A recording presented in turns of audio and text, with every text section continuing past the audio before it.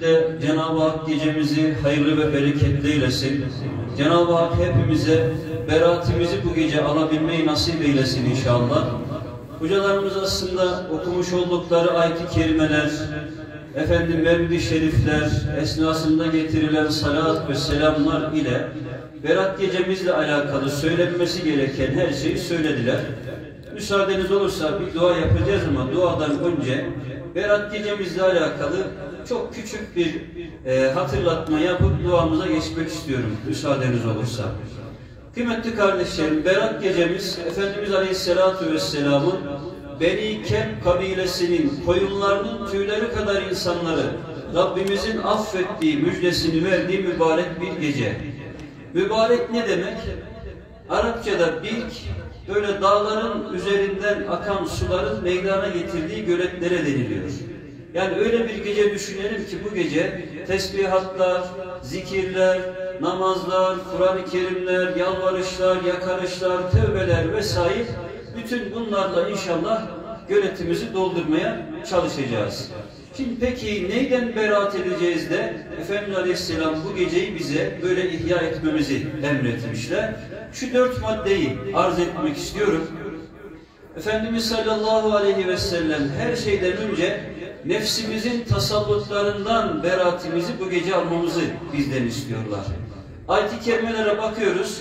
Mevlamız buyuruyorlar ki Estağfirullah فَأَلْهَمَهَا فُجُورَهَا وَتَقْوَاهَا قَدْ اَفْلَحَ مَنْ زَكَّاهَا وَقَدْ خَابَ مَنْ دَسَّاهَا allah Teala Hazretleri biz nefislere fücurunu, günahkarlığını, efendim takvasını da ilham ediyoruz.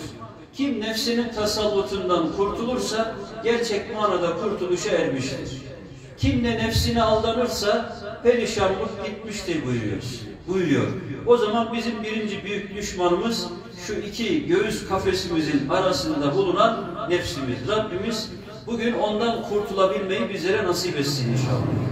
Onu da Efendimiz Aleyhisselam az yemeyi, az uyumayı, efendim az konuşmayı tavsiye ederek nefsimizi kırmamızı bizden istiyorlar. İkinci olarak Kur'an-ı Kerim'in bize apaçık düşmanınızdır diye tarif buyurdukları şeytan aleyhillâne. Sizin gönlünüze gelip bir şey fısıldıyor, benim gönlüme gelip bir şey fısıldıyor. Neticede bakıyoruz ki eşler arasında kavgalar, evlatlar arasında kavgalar, efendim anlaşmazlıklar, sendim, bendim derken şeytan işini çok profesyonel yapıyor kardeşler. Onu hafife almamak lazım. Şeytan tecrübeli. Ta Adem babamızdan bugüne kadar zaaflarımızı biliyor. Nereden bize yaklaşacağını çok iyi biliyor. Euzu billahi mineşşeytanirracim. Bu bizim bir dilimizin Allah'ın izniyle tesbihatı olmalı inşallah. Üçüncü olarak da değerli kardeşlerim, dünyaya karşı çok dikkatli olmamız lazım. Belki çağımızın, şu yaşadığımız günlerin en büyük hastalığı dünyevileşme hastalığı kardeşlerim. Hayatı dünyadan ibaret görmek. Burada sadece yiyelim, içelim, zevkimizin, nefsimizin istek ve arzularını yerine getirelim. Zerre kadar hayır ve şerrin karşılığını göreceğimiz, buna inanıyoruz.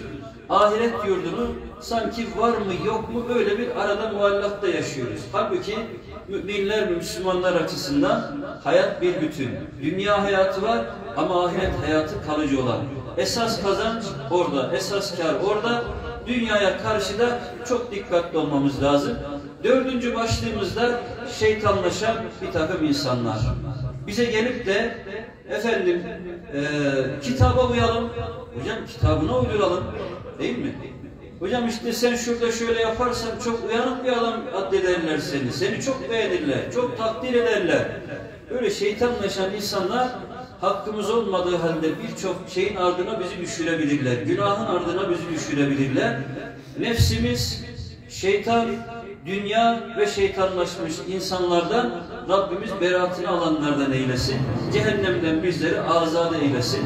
Cennetiyle, cemaliyle müşerref eylesin inşallah. Şimdi hatimlerimiz var. Hocalarımıza bizlere ulaştırılan belki yüze yakın hatmimiz var. Tesbihatlar var. Yapılan ikramlar var. Duamızı yapalım. Namazımıza geçelim inşallah. Amin. Euzu billahi mineşşeytanirracim. Bismillahirrahmanirrahim. Elhamdülillahi rabbil alamin. Ve salatu ve selamu ala Resulina Muhammedin ve ala alihi ve sahbihi ecma'in. Ey büyük arşın Rabbi olan Allah'ım, Ya Rabbi günahkar ellerimizi açtık, boyunlarımızı büktük, huzuruna geldik. Bizleri huzurundan boş çevirme Allah'ım. Ya Rabbi bilerek bilmeyerek işlediğimiz her türlü hatadan, kusurdan, günahdan, isyandan tevbe ediyoruz. Tevbelerimizi kabul eyle ya Rabbi. Tevbelerimizi kabul eyle ya Rabbi. Tevbelerimizi kabul eyle ya Rabbi.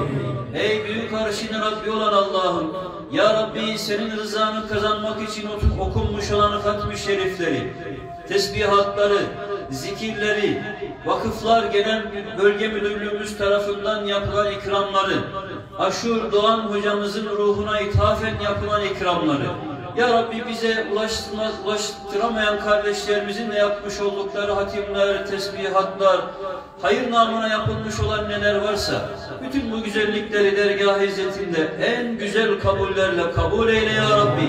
Yapılan ikramlardan Aşur Doğan hocamızın ruhunu haberdar eyle ya Rabbi. Vakıflar Bölge Müdürlüğümüzün yapmış olduğu ikramı ve burada hizmet eden kardeşlerimizin hizmetlerini kabul eyle ya Rabbi. Bu kardeşlerimizin bütün geçmişlerini yapılan bu ikramlardan haberdar eyle ya Rabbi.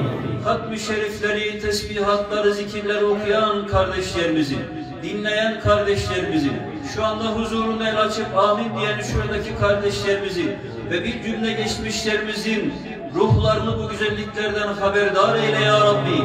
Ya Rabbel Alemin geçmişlerimize rahmetinle muamele eyle. Kabirlerini pür nur eyle. Makamlarını cennet ve âli eyle. Onları da bizleri de Efendimiz sallallahu aleyhi ve selleme komşu eyle Allah'ım. Ya Rabbel Alemin şu mübarek gecenin maddi ve manevi feyzinden müstefid olabilmeyi hepimize nasip eyle. Görünür görünmez kazalardan, belalardan, dert ve sıkıntılardan, maddi ve manevi anlamda zarar vericilerin zararlarından, ümmeti Muhammed Aleyhisselam'ı ve bizleri muhafaza eyle ya Rabbi. Evlerimize, iş yerlerimize, cadde ve sokaklarımıza huzur ve sükunet ihsan eyle ya Rabbi bildiğimiz ve bilemediğimiz maddi manevi her türlü nimetlerini bizlere ikram eyle ya Rabbi. İhsan eyle ya Rabbi. Kerem eyle ya Rabbi. Lütfeyle ya Rabbi. Belleri bükülmüş ihtiyarlarımız hürmetine ikram eyle ya Rabbi. Kundaklarda sarılı yavrular hürmetine ikram eyle ya Rabbi. Ümmeti Muhammed Aleyhisselam'ın kalpleri gönülleri arasına ülfetle muhabbet ikram eyle ya Rabbi. Birlik ve beraberlik ikram eyle ya Rabbi. Gazze'deki kardeşlerimiz başta olmak üzere Doğu Türkistan'da, Myanmar'da, daha ismini bilmediğimiz nice İslam diyarlarında sana olan imanlarından dolayı bombalar altında inleyen kardeşlerimize yardım eyle ya Rabbi kardeşlerimiz içerisinde bulundukları zor durumlardan bir an önce kurtar Allah'ım. Onların maddi ve manevi kurtuluşlarına bizleri vesile eyle ya Rabbi. Ey büyük arşın Rabbi olan Allah'ım. Ya Rabbi bizleri vatansız, bayraksız bırakma. Camisiz, cemaatsiz bırakma. İmamsız, müezzinsiz, minaresiz, ezansız bırakma Allah'ım. Birliğimizi, beraberliğimizi, kardeşliğimize daim eyle. İçimizden ve dışımızdan birliğimize, beraberliğimize, kardeşliğimize yönelen her türlü maddi ve manevi tehlikeleri bertaraf eyle ya Rabbi. Düşmanlara fırsat verme ya Rabbi. Vatanımızı, memleketimizi ilelebet payidar eyle ya Rabbi. Ey büyük arşın Rabbi olan Allah'ım, Ya Rabbi şu mübarek gece hürmetine, hasta kardeşlerimize ve bizlere, Şafi ismi şerifin hürmetine acilen şifalar ihsan eyle. Dertli kardeşlerimize derman ol Ya Rabbi. Borçlu kardeşlerimize en kısa zamanda helalinden edalar nasip müyesser eyle Allah'ım. Ya Rabbel Alemin, şu konuda da dua edilse, şuradaki kıymetli cemaatimiz amin dese diye, gönüllerinden duyguları, düşünceleri olan kardeşlerimiz var. Bu kardeşlerimizin dua ve taleplerini de yüce zatına arz ediyoruz. Kabul eyle ya Rabbi.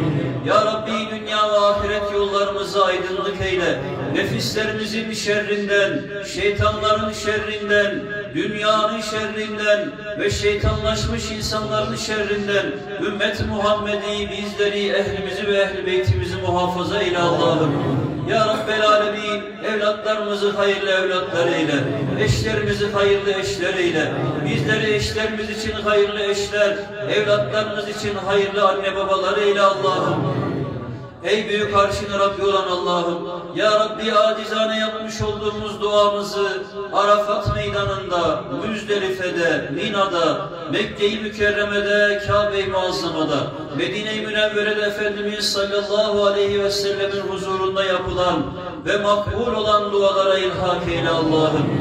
Es-salatu vesselamu aleyke ya Resulallah, Es-salatu vesselamu aleyke ya Habiballah, الصلاة والسلام عليك يا سيد الأولين والآخرين وسلام على جميع الأنبياء والمرسلين والحمد لله رب العالمين. Hayırların fethi, şerlerin defi için, sıhhat ve afiyetimizin devamı için, Gazze'mizin, Doğu Türkistan'ımızın zulüm altında olan İslam diyarlarının kurtuluşu için ve hasaten yaratan, yaşatan, bize rızık veren, caminin, cemaatin, Kur'an'ın, imanın ve her türlü güzelliğin yolunu gösteren Allah rızası için El Fatiha